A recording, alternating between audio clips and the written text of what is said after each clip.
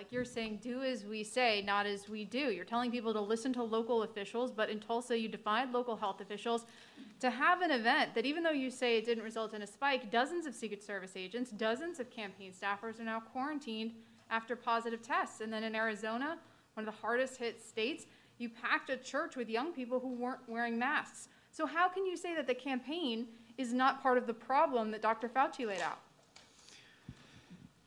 Well, I, I want to remind you again that the freedom of speech and the right to peaceably assemble is enshrined in the Constitution of the United States. Uh, and even in a health crisis, the American people don't forfeit our constitutional rights.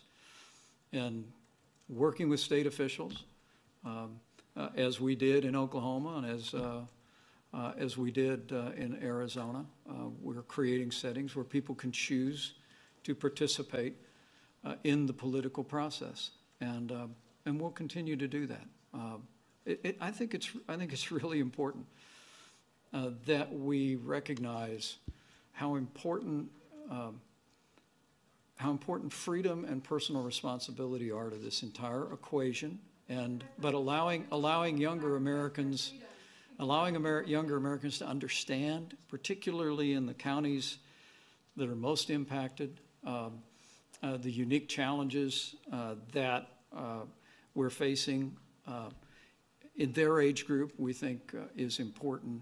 But look, it's, it's, it's so important that we recognize that, that as we issued guidance to reopen America now two months ago, and now as all 50 states are opening up our country again, people are going back to work. American everyday life is being restored, kind of one step, one day at a time.